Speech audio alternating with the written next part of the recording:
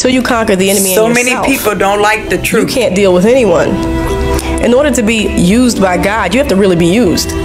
You know, we always want to be used for the glorious jobs. God put me on the stage in front of the people in the Grammy show with a nice dress on. Let me just praise your name.